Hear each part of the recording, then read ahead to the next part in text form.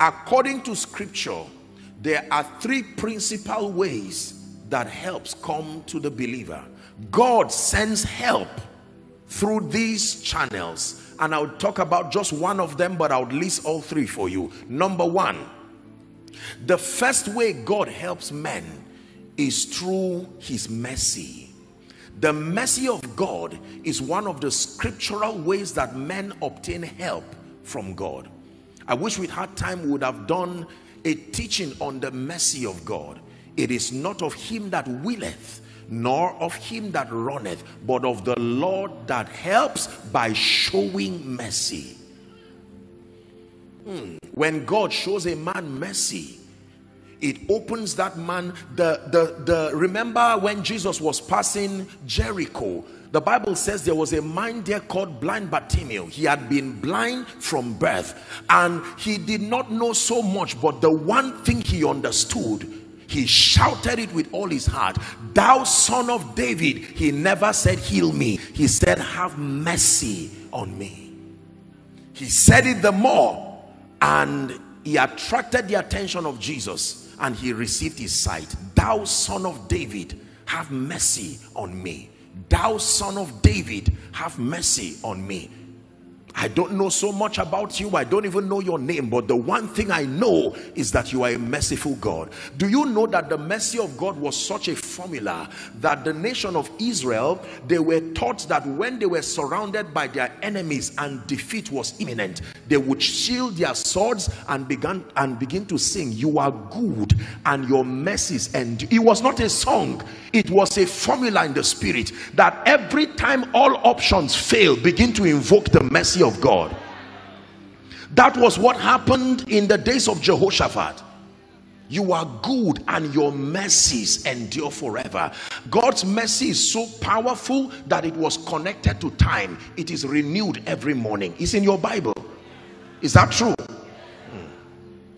The mercy of God. The mercy of God. Most believers think that the subject of mercy is only within the jurisdiction of sinners. No, granting pardon is just one dimension of mercy. Are we together now? Yes. I will have mercy upon whom I will have mercy on, and I will have compassion on whom I will have compassion on when you find a man who has attracted the mercy of God upon his life in fact did you know that favor only comes when it finds mercy already there if mercy does not find favor there I mean if favor does not find mercy there it will not go.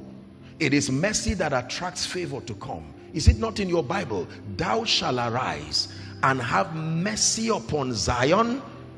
Not because Zion needed mercy the time to favor her but mercy must first precede. Yea the set time is come. When he arises to favor you he first shows you mercy it is even the mercy of God that sponsors encounters it says below the cherubims above the mercy seat there I will meet with you and I will commune with you face to face hmm. you are the one that we praise. You are the one we adore. You give the healing and grace that our hearts always hunger. Oh, our hearts always hunger. the mercy of God is mysteriously powerful when a believer receives the mercy of God you know um, respectfully speaking I will tell you as I look at my life and look at the things that God has done and then that which he does in the life of others beyond grace beyond achievement all I see is his mercy. Happy is the man that has found mercy before God. Your life becomes a mystery a living epistle. You will know it becomes clear. Are we together now? Yes. This is an orientation you must have tonight that for your destiny to ever be actualized if you must rise to a place where your life becomes an effulgence of God's glory, you cannot ignore the help of God. And that the first way God helps men is by showing them mercy. Someone say mercy. Say it with understanding. The call for mercy is not for weak people. The call for mercy is for wise people. Men who understand that outside of the assistance of heaven, there is a limitation. We have a system of advantage programmed in our work with God. The first of them is the mercy of God. Hmm. Number two, very quickly for sake of time. How does God show men help? The second way that the Lord helps men to rise and to accelerate is through the gift of men. The second way God helps men is through men. Please do not forget this teaching. Men. Men. Strategic relationships. I did teach you, I think it was yesterday or this morning, that there are three kinds of relationships general relationships, seasonal relationships, covenant or destiny relationships. And I told you that when God wants to help a man, God will bring destiny helpers to your life. Men ordained, please listen, men commissioned and mandated to support your rising. They are not people who freelance into your life. They may not even know they were called, but they were ordained by God. That was the mistake that was the predicament.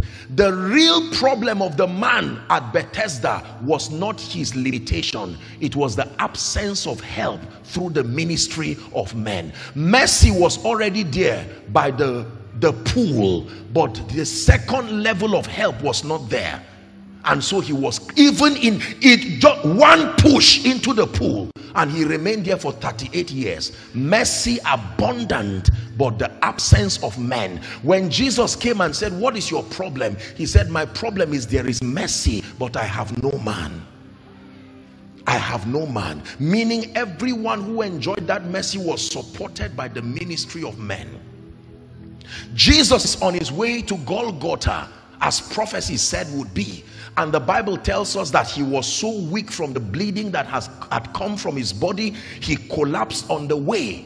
Jesus your jesus did not have the strength by himself even though the word of god now in the flesh now he had become the embodiment of sin. He did not have the strength to go down to Golgotha with the cross and he collapsed there. I hope you realize that if Jesus died on the ground, he could not save your sin because it is written cursed is he that hangeth on the tree that the blessings of Abraham might come upon the Gentiles to the end that we might receive the promise of the Spirit through faith. That's what the Bible teaches. So if Jesus fell on the ground, he would just be an innocent man who was victimized till he died. The entire purpose of his death will be robbed if he did not hang upon a tree. But there was help. A man was brought to him called Simon of Cyrene and that man helped him. You would think because he was God he said I'm no as God he did not need help but when he became a man he needed a man. Please listen very carefully. You are as powerful as the men that God puts around your life to support your journey to greatness. I have told you if God says yes and in this world of men men say no. Your yes remains in the realm of the spirit. All blessings come from God through men to men all destructions come from Satan through men to men. In any case men are the prophetic midwives that can help people to actualize destiny or otherwise. Are you understanding me? The bible talks about a very strange man in the bible called mephibosheth. Have you heard of that man the man did not commit any crime. His only mistake uh, no not a mistake his predicament was because of the carelessness of a midwife. That was it. And he became crippled for the rest of his life. The woman sent to help the safe delivery for whatever reason. She made a mistake. The bible notes her mistake. The mistake of a midwife crippled a man with the potential for a great destiny for life. The mistake of a midwife. Someone say, Man. It's important for you to know how God answers your prayer. The moment you pray and ask God, start looking around. Men are like trays in the spirit. They come buffet of possibilities. You need to have that discernment. Men are so powerful. The psalmist was contemplating this and he said, What is man? I would quote it this way What is in man? Lord, what did you hide in man that even man is not aware of? Men are a compendium of possibilities. When you see them come, God hides his anointing in men, He hides his wisdom in men. Did your Bible not say there is this treasure, but that it is hidden in earthen vessels?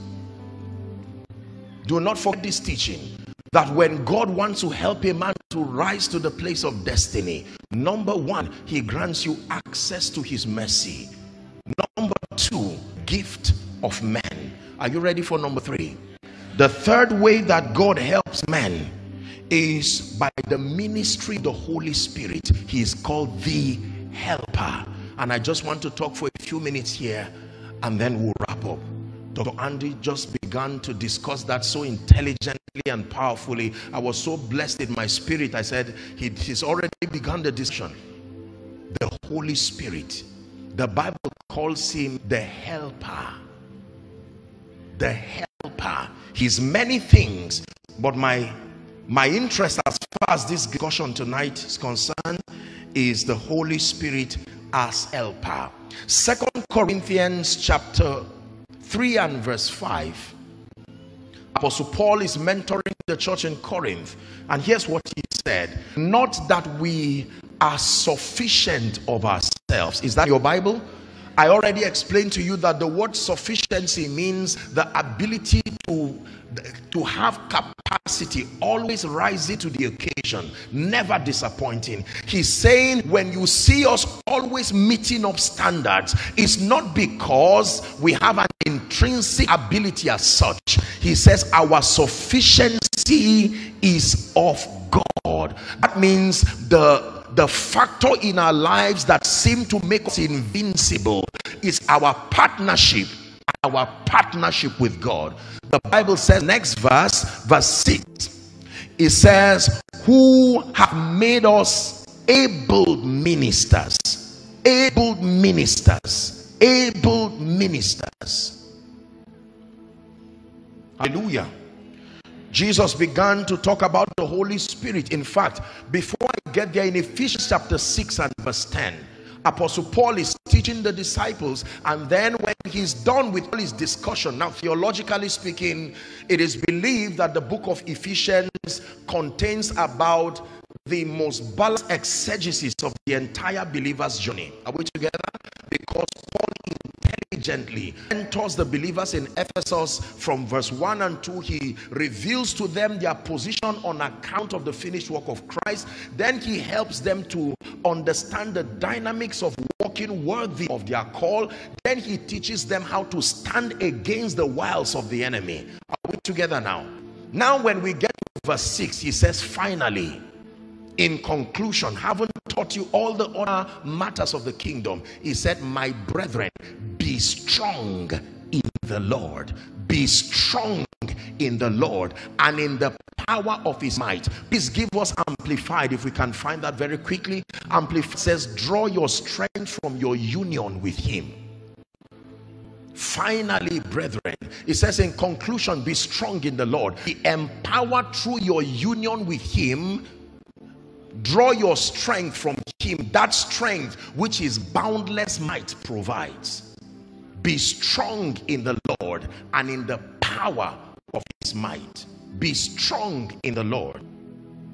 Hallelujah. Praise the name of the lord. So romans chapter 8 and verse 26 let me take it from where um, pastor us while he was teaching here he said likewise that means similarly as in the, the pretext before this, in that same vein, the Spirit helpeth. Do you see the word there? The Spirit helpeth our infirmity. The word infirmity there is not the word sickness. It's not related to sickness in this context at all. The word infirmity there is bodily limitation. The limitation that come to us by reason of wearing a mortal body. He's saying unassisted by there are limitations. For instance, we know in part and we prophesy in part. It's a limitation. Hallelujah. But the Bible says the Spirit helpeth our infirmity that the Holy Spirit can provide a leverage, an advantage to the believer, and the Bible calls it help. How does the Holy Spirit help the believer? Can I run through the list very quickly? Number one, the Holy Spirit, according to scripture, helps the believer by revealing the mind or will of God to the believer. It is important you know this. In this kingdom, the will of God is very important. You only succeed to the degree to which your life gravitates towards the will, Lord. In fact, the assignment, the jurisdiction of the power of God, the administration of the power of God is to bring all things into the will of God. Did you know that? The assignment of the anointing is to bring every anomaly in your life into the will of God. So for the anointing to work, it has to vet what dimension of your life is inconsistent with the will of God. And then it exerts a force, an energy that brings your life to the will of God. The end point of the manifestation of the power of God is that you walk entire in the will of God.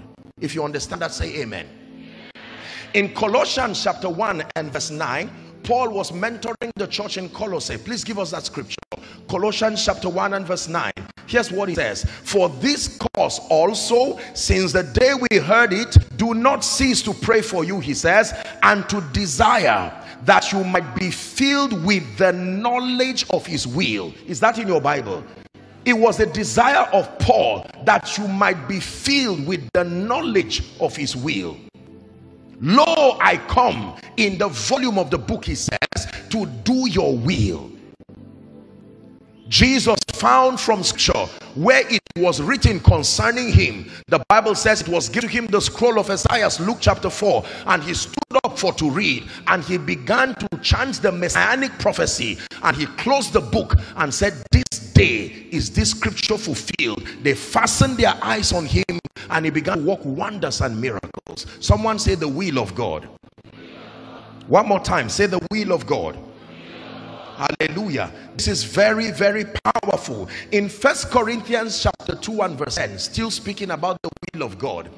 The Bible says, no eye has seen, no ear has heard what God has prepared to install or has in store for them that love him.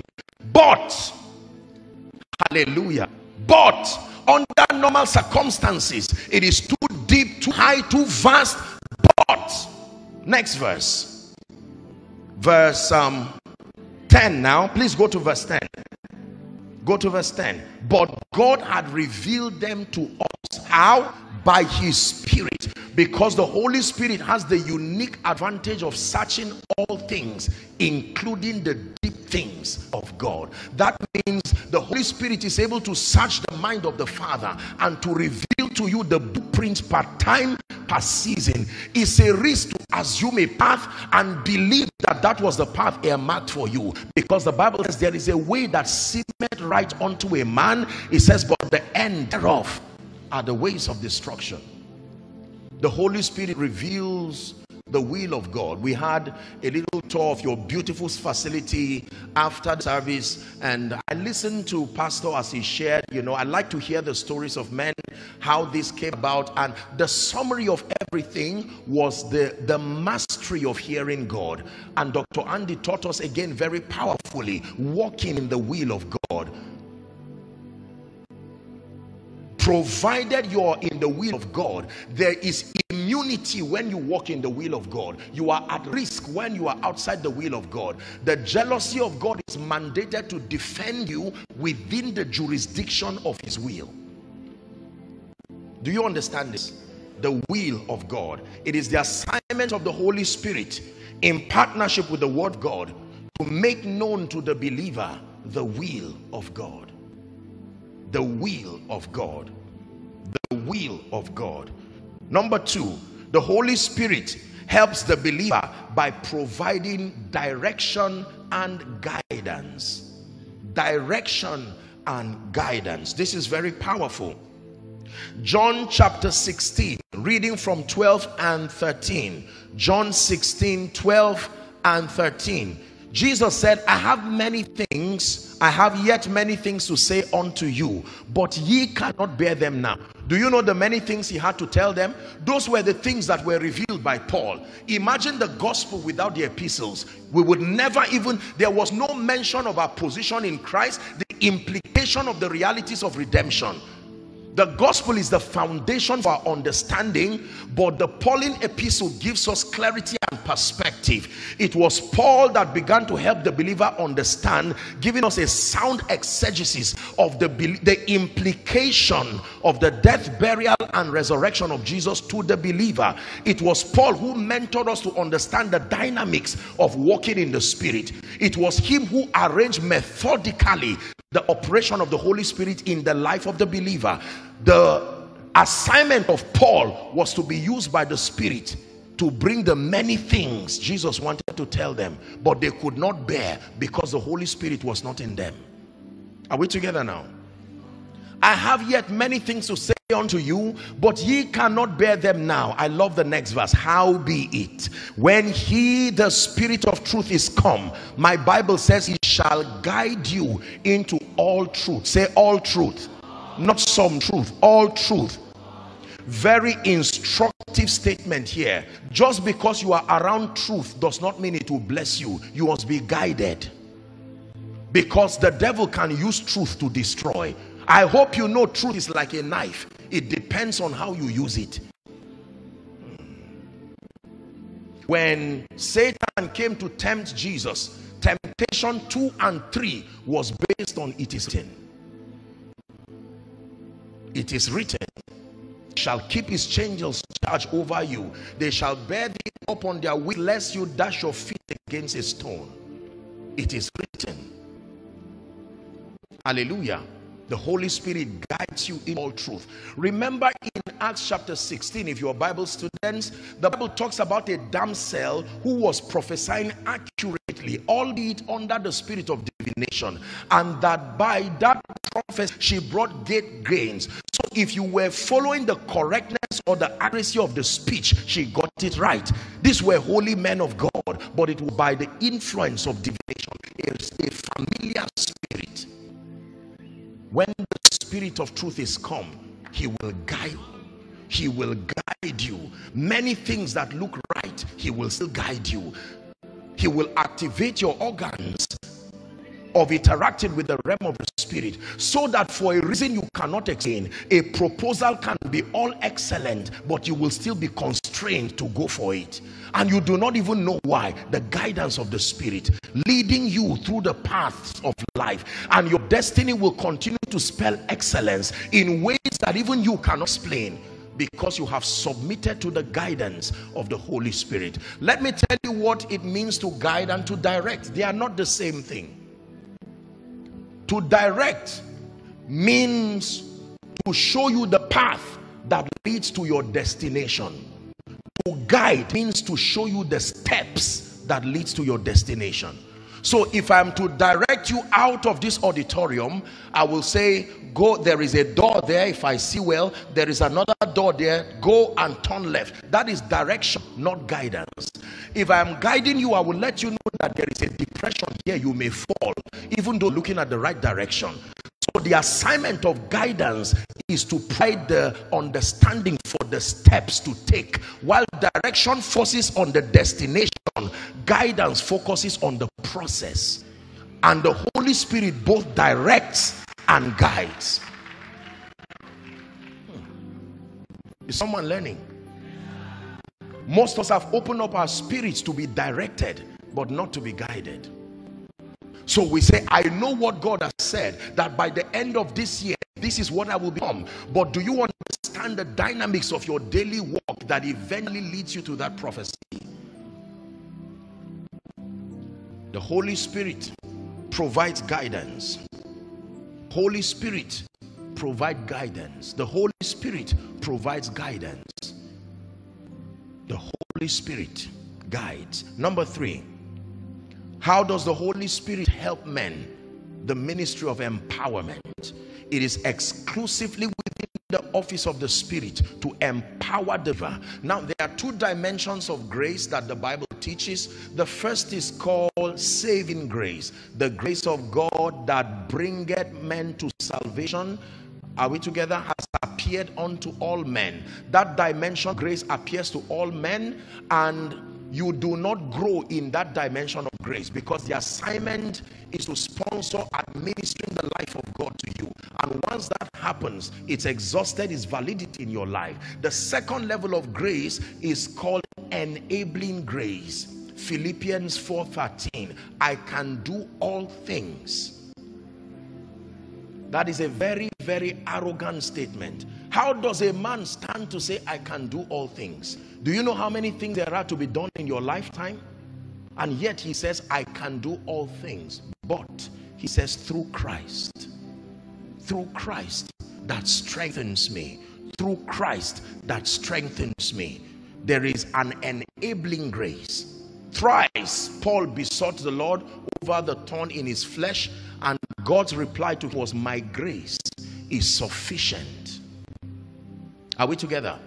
So you do the doing, but the empowerment comes from the Spirit.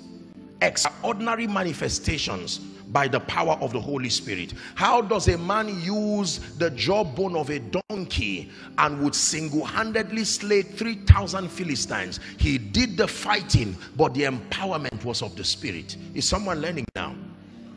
So the Holy Spirit empowers us. He brings us into maturity. He helps us by the Spirit to walk in power, supernatural power. Power is so important that the Bible is not silent as to the fact that believers need to be empowered. Jesus, for three and a half years, had mentored the disciples and transferred sufficient knowledge, but he still told them, Tarry until ye be endued with power from on high. When Jesus resurrected, he called the disciples to continue the final phase of his lectures before his ascension to heaven. Hallelujah. And when he began to teach them in Acts 1, because you see, their idea was that Jesus was going to come and restore the nation of Israel. As we know, that happened in the 1940s historically. They thought that that would happen within that time. That was why they were negotiating posi political positions for themselves. They left fishing not because they wanted to go to heaven or they wanted to be apostles.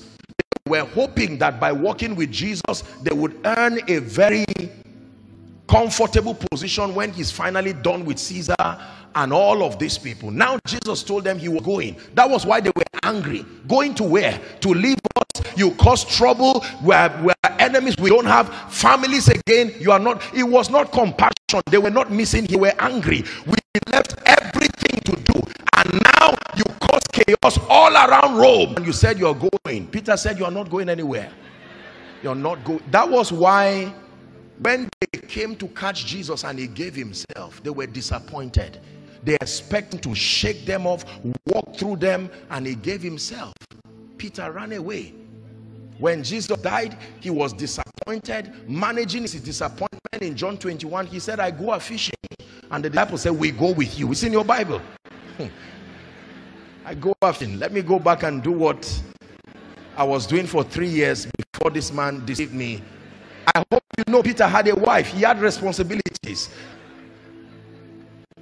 So Jesus comes to them in John 21, and Peter, in his frustration, ah, listen, there are times where everything is right, but minus God, you will still fail. Look at Peter at sea. Remember, he returned back in anger to fish. The boat was there. The skill was there. The net was there. The sea was there. Even the fish was there but he could not catch it. There are times that every parameter is right. Your skill is there. The boat is there. The net is there. The experience. The fish he was looking for was there but he could not catch it here comes jesus little children have you any catch And he looked, not knowing it was Jesus. He said, Cast your net to the right side. This is Jesus now. And the Bible says, when he casted the net, they could not leave the net because he was about to break. And Peter was washing himself. He realized it was Jesus. And he said, Depart from me, for I'm a sinner. And Jesus said, No, that's not the issue. Come. Simon Barjona, lovest thou me more than this? He said, Feed my lamb. And then the discussion continued.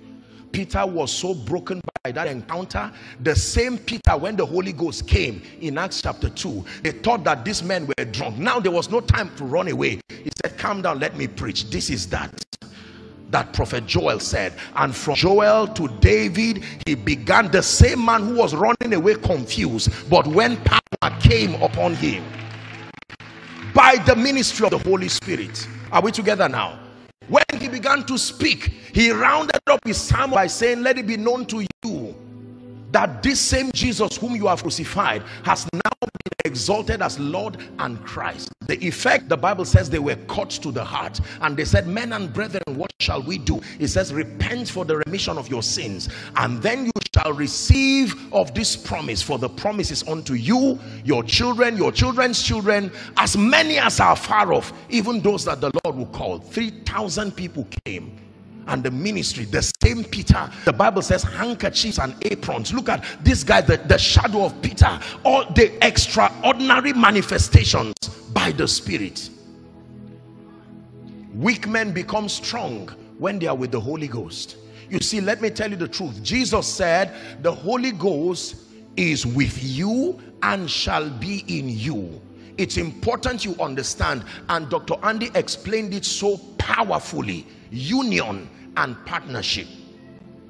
Are we together now? Yes. That union is a state it's a spiritual reality when you are in christ. But your partnership requires the active participation of your will continually and consistently. It takes partnership with him to change your thoughts.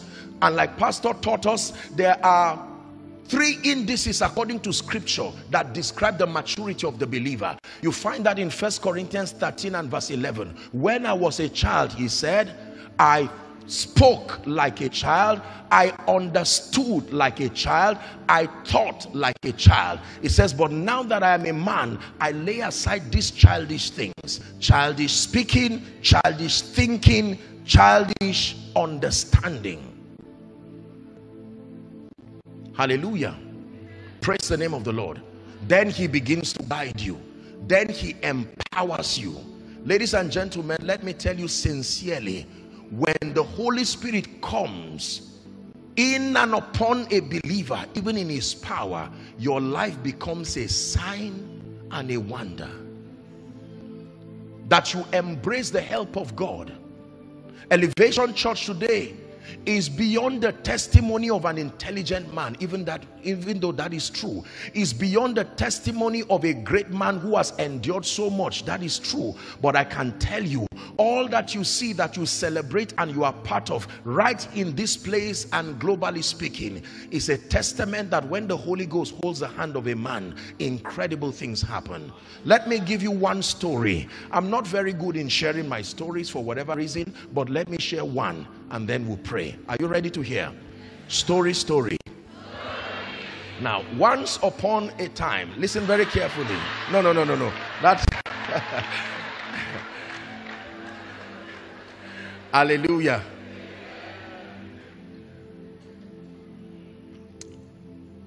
So one day I had a vision, and this was the vision that has become the bedrock of what God is doing today in that vision i was in a room. It was an elevated like a story building. And i ran into that room because of fear. In that vision there were people who were looking for me as though to destroy me. And i was in that room. And all of a sudden through the window i looked out and i saw an endless sea of people. It was a whole generation crying. And then it began to zoom to me and I was talking with the people, the, the ones who were in front. And they were crying and I heard what they said, no food and no water. And I said, who is the cause? I was so grieved in my spirit. And they unanimously pointed to me. I said, No, I can't be that wicked. I can't be that heartless. And then I made up my mind. I said, I will come down and do whatever it is within my power to help you. But I remembered in that vision how frail I was. I took the step of faith and I opened the door. Here's where I'm going. As soon as I opened the door, there was this giant gray bearded man who stretched his giant hands and said, Give me your hands. And my small, tiny hands held his hand and we began to walk together. We were jumping from building to building. There was a ladder. I couldn't jump. So he would jump and smile at me while I'm walking on the ladder to connect to him. I didn't know that was the Holy Spirit. It was a revelation of the excellency that can emanate from the life of an ordinary man when you are in partnership with the Holy Spirit. Listen to me, ladies and gentlemen. The Holy Spirit is not um, for preachers or those in the fivefold. They are just the ones who are most conscious of his ministry. That is why it seems that he seems to find greater or the greatest expression with them. As I'm speaking to you now, I just sense that there is an anointing, there is a glory. The Holy Spirit is searching for men and saying, Would you give me a chance to make a wonder and a sign out of your life? Look what He's done to men in scripture. Ordinary men who walked with the Holy Ghost, they became powerful men. Are we talking of women? The Bible archives them in Hebrews chapter 11. It says, Time will fail me to talk of Gideon, Jephthah, and Barak, even though it was through faith, but it was by the Spirit, because it is not by might, it is not by power, it is by the Spirit. Mary, the young virgin, a young lady who was happy like any other lady, preparing for her marriage with Joseph. All of a sudden, she receives a strange salutation one morning. Gabriel comes to her and gives her a disturbing salutation Blessed are you among women, you are highly favored. And she wondered what kind of salutation this was. Then he tells her that she's going to be with child, however, without the assistance of a man. And she asks a very, very profound question How shall these things be, seeing that I know not a man? How shall these things be? How shall it be that I will build a business in six months without certain people, without belonging to certain groups? How shall it be that from a family that does not seem to have any pedigree of honor, how shall these things be, seeing that I know not a man? I'm about to give you an answer that you will give men when they say, How did this happen? How did it happen that Saul became Paul? How did it happen that this ordinary lady, how did Esther suddenly become queen? How did this happen?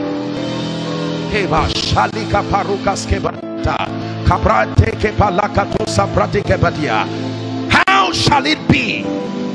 How will these things be? Seeing that I know not a man. Watch this. Gabriel's answer is my message tonight. The angel answered and said, The Holy Ghost, Luke 1 34 35. Ah, the, the angel answered, Thank God that you are a virgin. Thank God that you are a wonderful lady. But this kind of possibility is beyond the scope of your preparation. It is the Holy Ghost. How shall it be that an ordinary preacher would lay hands on another and bring someone out of a wheelchair? How shall it be that you speak to nations and program a spiritual climate of possibilities over people? How shall it be that you say, Let it be, and it will be? The centurion said, I know you, you are a man under authority. There is the influence of the Spirit upon you. Please help that lady. It says, I said to one, Go, and he goeth, to another, Come, and he comes. Speak the word only, he said. How shall it be? These things be, seeing that I know not man and it says the Holy Ghost. Give us that scripture. The Holy Ghost. Luke chapter 1 and verse 35 shall come upon you and the power of the highest he didn't say will come upon you will overshadow you. It's the word baptizo. You are immersed immersed in that glory immersed in that power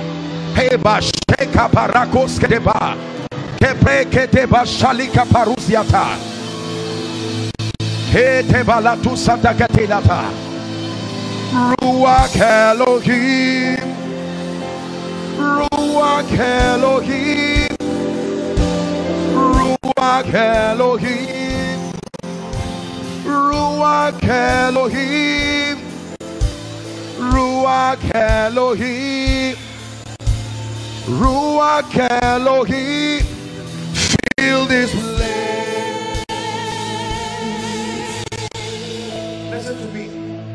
On this final night, it was by the Spirit that Dr. Andrew began to teach you about the leadership of the Spirit. And now I am telling you that the Holy Ghost is the factor that turns ordinary men into signs and wonders. The Holy Ghost does not just overshadow men, he overshadows things like your business things like your family handkerchiefs and aprons. Is it not in your bible? Were taken from out of the body of paul. Handkerchiefs and aprons. The holy ghost overshadowed mary and a vision was birthed. The word became flesh by the holy ghost the Holy Ghost is not an angel. Listen to me, ladies and gentlemen. The Holy Spirit is not one of those deities. He is God. He was sent by Jesus. He is the believer's advantage. Even the scripture that you read was a possibility because of his presence. Man, holy men wrote as they were inspired by the Holy Ghost. To ignore the Holy Spirit is to ignore your possibility for rising, for lifting Listen, watch this. Your Jesus, your Jesus, my God, I just saw like a dove and I'm seeing the number nine is coming on nine people right now. I stretch my hands. Nine. Paroske pariketa. Help them, please. In the name that is above all names. I bring you the ministry of the Holy Ghost in the name of Jesus, transforming you turning you to a sign and a wonder. Listen your jesus walked under a closed heaven for 30 years even though he was the word incarnate. The father never uttered a word because he had not received the ministry of the holy ghost. He was born of the spirit but that was not enough. That is a kind of new birth.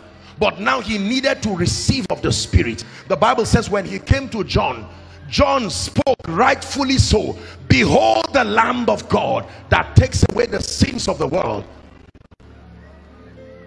But then when he baptized john it's in your bible that when john came out of the waters your bible says the heavens were open and the holy spirit in the similitude of a dove came and descended upon your jesus. If Jesus needed the Holy Ghost businessman you need more than a proposal and an idea. Please listen to me. Politician you need more than intelligence to just formulate policies. It was by the spirit of God that Daniel excelled even in Babylon I bring you the ministry of the Holy Spirit. The believer's advantage. It is the way God helps men. When God looks at a man in his lowly estate. Listen you know we're going to pray shortly my God. There's such there's such an impartation of grace. You will never be the same. Never never be the same. I am speaking to you by the spirit. Your life your ministry your family never be the same.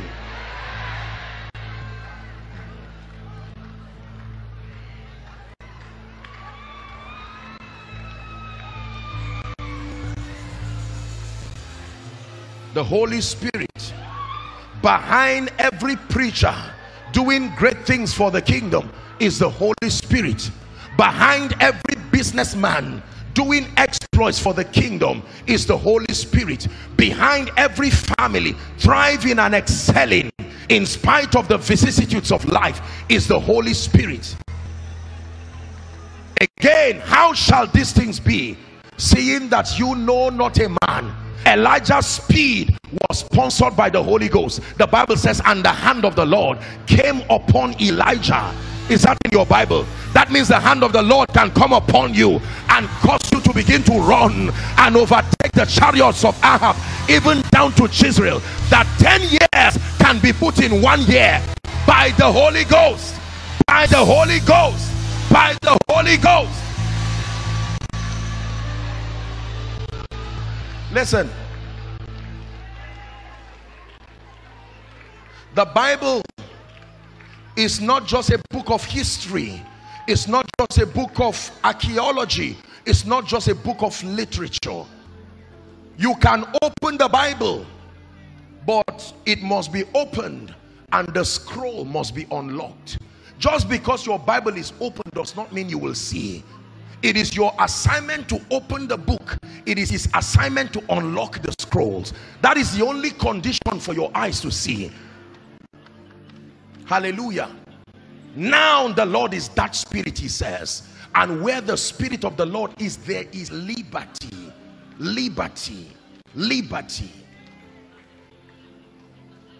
Someone is a man of God here Thank God for all the principles that make for excellence in ministry. Do not downplay them.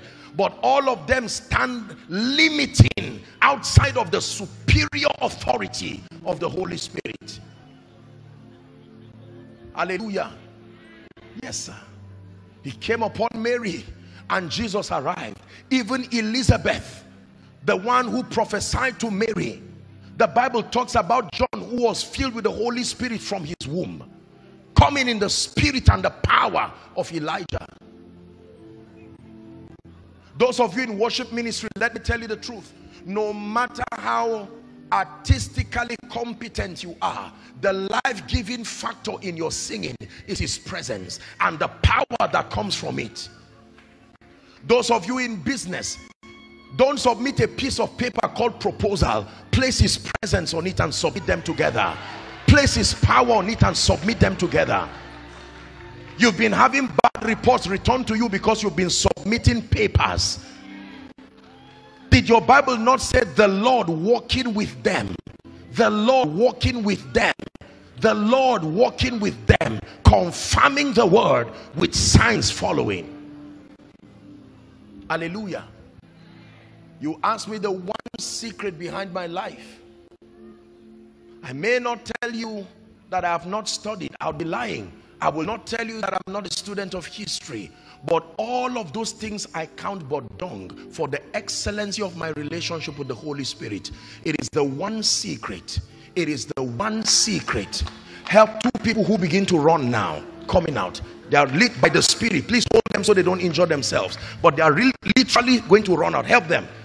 Help them. Just hold them so they don't injure themselves. This, this is a ministry of signs and wonders. There's, there's nothing unscriptural in what you are watching. When the Holy Spirit is in a place, you see, the Bible says to be carnally minded is death, but to be spiritually minded is life and peace. Just like you were told to jump a few times, it does not make sense. God uses the foolish things, you see. It may not make sense, but this is where yielding to the ministry of the Holy Spirit comes. In fact, the Bible says the Spirit beareth witness with our spirits hallelujah again dr andy explained it so powerfully here. With our spirit that we have become one. In theology we call it the doctrine of interpenetration. It's the mystery by which two entities become one. That is what is adumbrated in marriage. Where the man and the woman become one in the spirit. They are still distinct individuals but in the spirit they have become one. He that is joined to Christ, the Bible says is one spirit. My time is up. There are three things we're going to do very quickly within the time that I have. I want to respect the time. Number one is that the Lord wants to activate something that has been locked up within your spirit. Within your spirit man there is an investment of the spirit that is about to rest upon you like a hen resting upon her eggs so that it will hatch and produce. That's what God wants to do. Hallelujah. Praise the name of the Lord. Did you know that the Holy Spirit is the creative dimension of the Godhead? Every time there is need for creation and the manifestation of the power of the Godhead, that gentleman jumping lift your hands. I just saw fire coming on you. And the lord is saying you are stepping into a new season in the spirit. In the name of jesus christ i decree and declare let it be unto you as the lord has spoken by the power of the holy spirit in the name of jesus christ. Hallelujah. Genesis 1 and verse 1 in the beginning god created the heavens and the earth. Verse 2 says now the earth was dark it was void it was formless. Is the greek word tohu wabohu confusion and chaos. Every time there was confusion as we see in the bible it was the holy spirit the spirit of god hovered around the face of the waters. Don't discuss your confusion and tragedy and pain. Introduce him to hover over it. Because every time the Holy Ghost hovers over that unemployment overs over that family issue there is about to be creation. This is what the Bible teaches. Even God did not speak till he verified the presence of the Holy Spirit when the Holy Spirit was there the Bible says and God said. So before you say verify that he is there it is the union of his presence and your speaking that produces creation. Not just your speaking. Your speaking will be empty and barren except the Holy Spirit leads the way. Lift your hands in one minute and thank God for tonight. Someone is praying.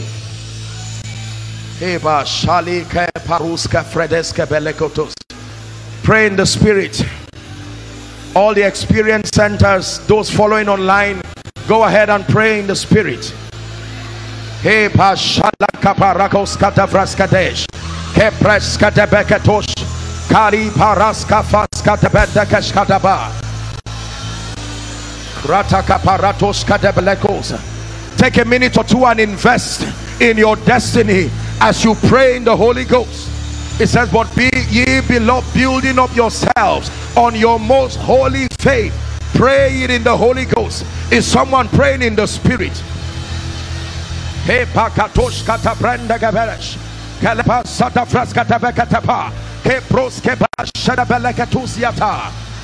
Pray. Pray yourself in superior spiritual dimensions dimensions of power dimensions of grace dimensions of light dimensions of influence. Ascend realms in the spirit. He said come up hither and i will show you the things that will happen afterwards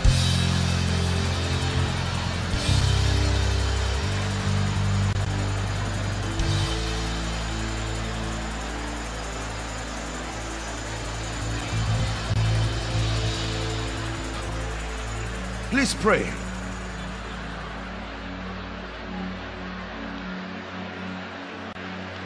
Hallelujah. Praise the name of the lord. Can i take a minute to speak over those who are trusting god? I know that been prayed for but i just want to generally speaking speak over your life whether it's infirmity or any situation at all that has mocked god in your life you've taken the pain and the sorrow away You've given me peace undeniable. There's no need to cry cause you're always with me. You're my father, my everything. Help me. Oh, man, my.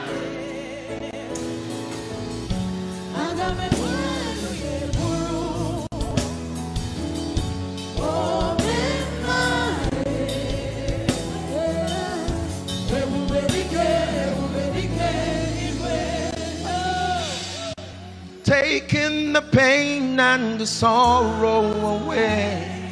You've given me peace undeniable.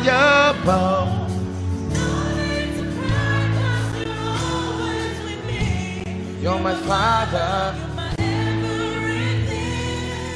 Let me pray for you. The Holy Spirit is that powerful. The Holy Spirit is that powerful able to sponsor salvation even to the uttermost able to bring healing to your body able to rewrite the narrative of your life and your destiny. And here at this conference we're trusting God to ascend heights in the spirit levels of grace even by the spirit. Zechariah said it is not by might it is not by power but it is by the spirit by the spirit by the spirit. Ezekiel chapter 2 from verse 1 it says son of man stand up upon your feet. And it did not have that power that energy. Verse 2 says and the spirit entered me when he spake unto me and set me upon my feet. In the name of jesus the son of the living god i decree and declare over every ministry here represented every business here represented every family here represented and every challenge here represented by the power of the Holy Ghost. In the name of Jesus find rest now. Find rest now. Find rest now. Find rest now. In the name of Jesus Christ the Bible says in Genesis chapter 24 and verse 1, he says, Now Abraham was old and well stricken in age. He says, And the Lord had blessed him in all things. All things all things not some things there was a man called Naaman the captain of the Syrian army the Bible says he was a valiant man in war but he was leprous in the name of Jesus everything that is antichrist everything that is anti-destiny roaming around your life i stand under the corporate anointing in agreement with every servant of god here represented and we decree and declare let it roll out of your life right now. Let it roll out of your life right now. Let it roll out of your life right now. Let it roll out of your life right now. In the name of jesus christ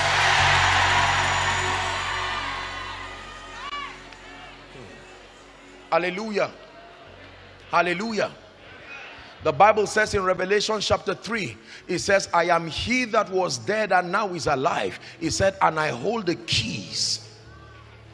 The holder of the key of David. The key of David is a mysterious possibility in the kingdom. He says, and by that key, I open a door that no man can shut. Can I declare the opening of doors? Listen, a door is an authorized point of access. If someone comes into your house through the fence he's in your house but he's not welcome because your fence is not the authorized access point. Jesus said i am the door. That is how important doors are. But doors and gates can also be barriers. They limit access when they are closed a door that is there is a potential for access. Doors midwife realms your kitchen your living room your bathroom they are separated by walls and separated by doors. If you want to midwife or transit from one part of your house to the other you don't walk through the wall you walk through the door. But how many of you know that as as powerful as you are you can misplace the key to your door and it can keep you outside for a long time. Can i declare the opening of doors? In the name of jesus the son of the living god every door every gate before you that has remained closed i speak to it now. Ephata be open. Ephata be open. Career doors be open. Career doors be open family doors be open. Financial doors be open.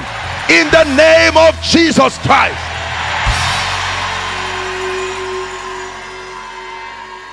Son of man can these bones live again? It says only down the west. It said prophesy to these bones and tell them oh bones hear ye the word of the lord that god will cause flesh and sinews to come upon you but the flesh was there but it was lifeless. It says son of man call the four winds and say oh wind breathe upon this lane and they became an exceeding great army. I declare let the wind of the spirit blow upon everything dead in your life. Blow upon everything dead in your life. Blow upon dead finances dead marriages dead wombs dead organs. Come back to life by the spirit in the name of Jesus Christ. Hallelujah. For the sake of time, I made a request in the morning. We may not have the time to collate them, but please lift your prayer requests and your expectation cards. Can I speak over them, please? If you have it, if it's in an e-version, just lift your phone or just stand by faith. And for those who are connecting, distance is no barrier at all. All of the experience centers and then those who are connecting from across the globe.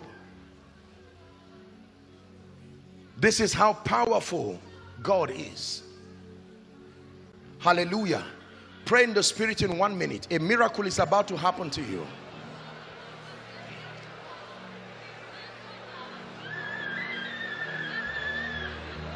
Just do what I'm asking you to do. Philippians chapter 4 and verse 6 says, Be anxious for nothing. It says, But in everything, by prayer and supplication with thanksgiving, let your requests be made known. Don't assume that he knows. Let your request be made known. Hallelujah. Hallelujah. Now keep it lifted please. Help them i'm about to pray for you and i please want you to believe i want you to believe i'm standing under the corporate anointing here and i want to speak over this Creator of the universe, what can't you do? What can't you do? Jesus, Creator of Satan.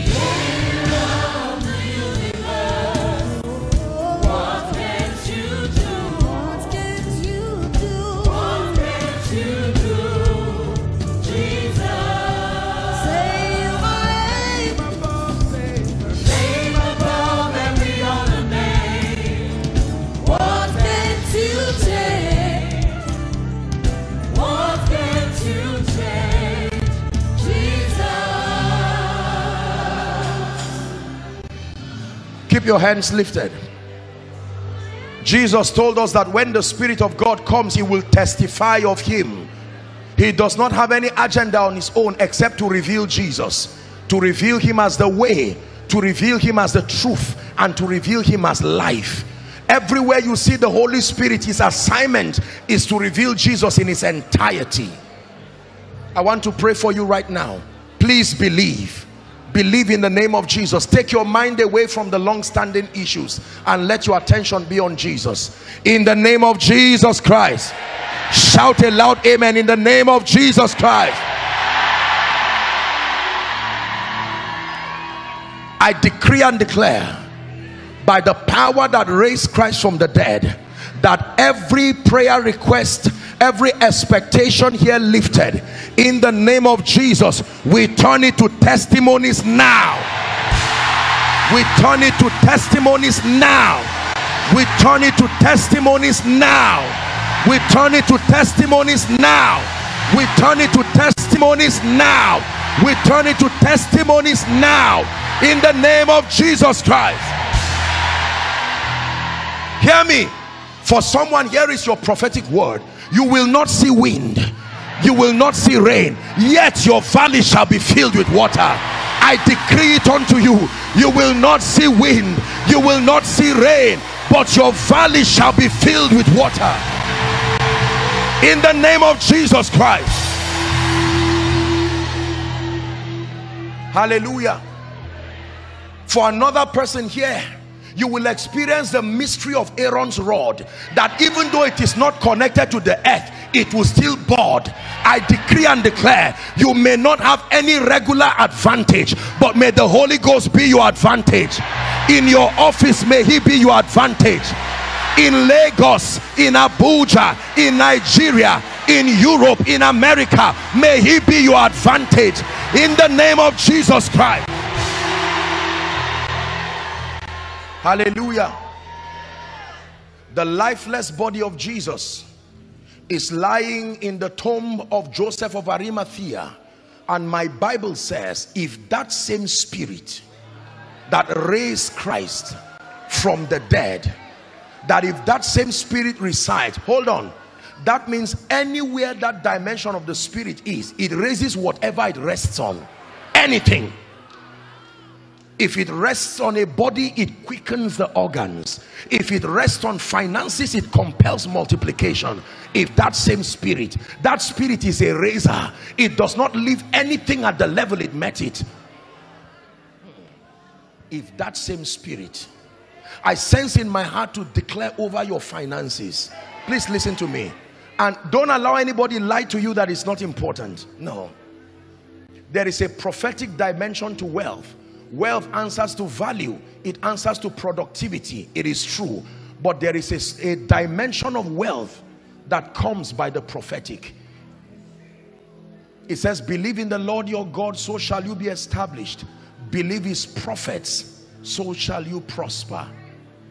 The prophet said by this time tomorrow there was no economic manipulation that would turn Samaria to a place of abundance in 24 hours but the prophetic and that by the spirit. Let me speak over someone's wilderness. According to isaiah 32 and verse 15 it says until the spirit is poured upon us from on high and then the wilderness shall be counted for a fruitful vine and a fruitful vine be counted for a forest. Everywhere there is drought even financially i command abundance now. Abundance through the ministry of mercy abundance through the gift of man in the name of Jesus Christ. And for someone lifting your request I speak to you. These Egyptians you see today you will see them no more forever. You will see them no more forever.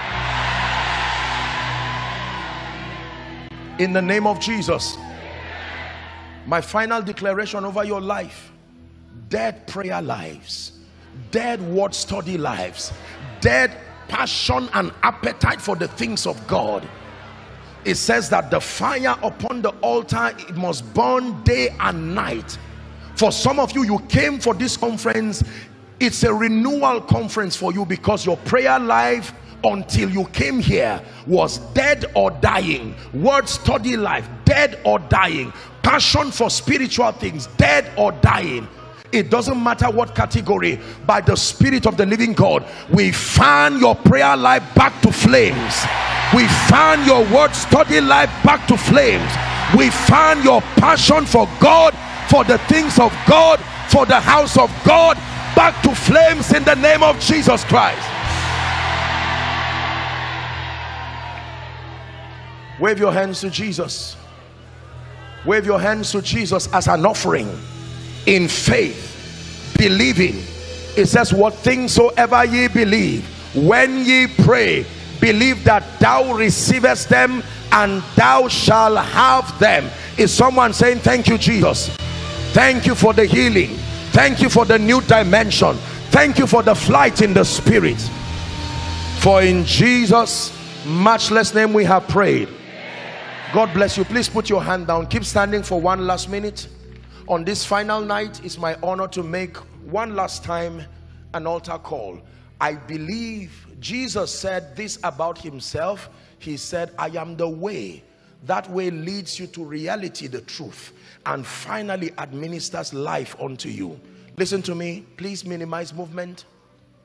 In every gathering such as this, there are always men and women sent by God. The Lord added daily to the church as many as should be saved. It is the will of God, number one, that all men be saved, and then number two, to come into the knowledge of the truth. Transformation is only a second experience. Salvation is the first experience in order of priority.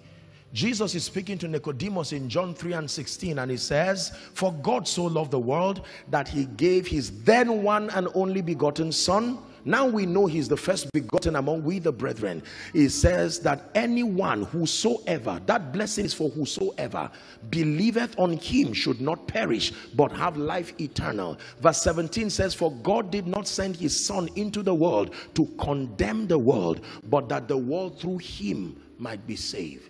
Listen to me. Jesus can be a final resting place from every burden, every pain.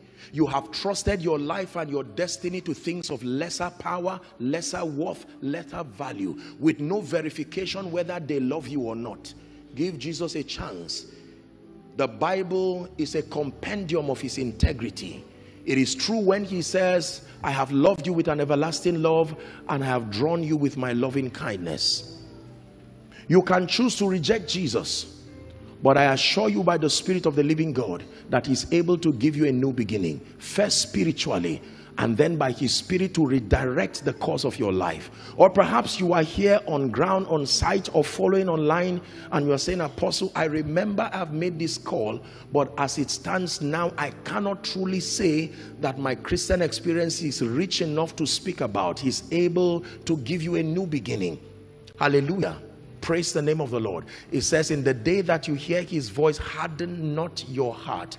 I'm going to make a final call for this session tonight counting one to five. I'm only looking for one sincere person who is saying apostle sincerely i want to make it right with jesus. I know that he can give me a new beginning. My sins can be washed away I can start afresh. I'm not ashamed of Jesus. Wherever you are, I want you to run and come and stand here. I begin my counting now. One. Let's celebrate them as they come. Two. Come. Come. Come. Where would I be? If you left me now, where would I be? Come, come to Jesus. Where would I be?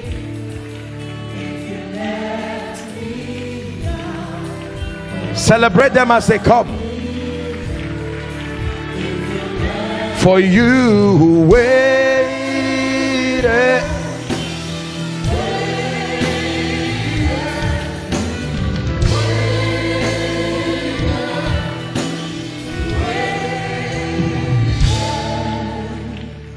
I'm about to pray, so if you are joining them, please make that fast. And for those following online, all the experience centers, I believe that there might be someone, some officials who can guide you on what to do. Those who are following online, here is your chance to make Jesus Lord of your life. Even if you're following by way of a rebroadcast, this is still an opportunity to make Jesus Lord of your life. It is never late to make Jesus Lord of your life. Hallelujah. The Bible says there is no other name under heaven given unto men by which we must be saved.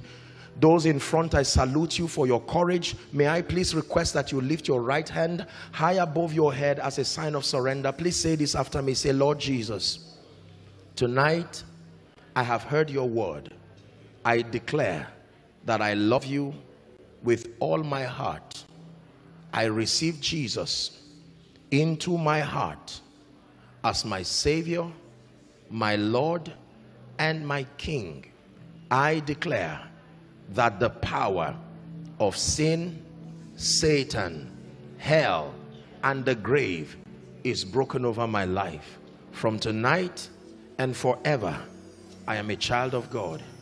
Amen. Keep your hands lifted. Father, thank you for these precious ones. The Bible says, No man cometh to the Father except by Jesus. Lord, I thank you because you have drawn these ones to yourself. I declare by the authority of scripture that your sins are forgiven. And in the name of Jesus, the Son of the living God, you enjoy the life of God from tonight and even forever. May the Lord bless you. You go from glory to glory. In Jesus' matchless name, I pray. All right. Um, there are counselors waving the placard. May I please request that all of you in concert, please follow the gentleman waving the placard and there will be a group of officials who will have a word with you. Let's celebrate them. Let's celebrate them. Elevation Church, thank you so much. I love you. May God bless you.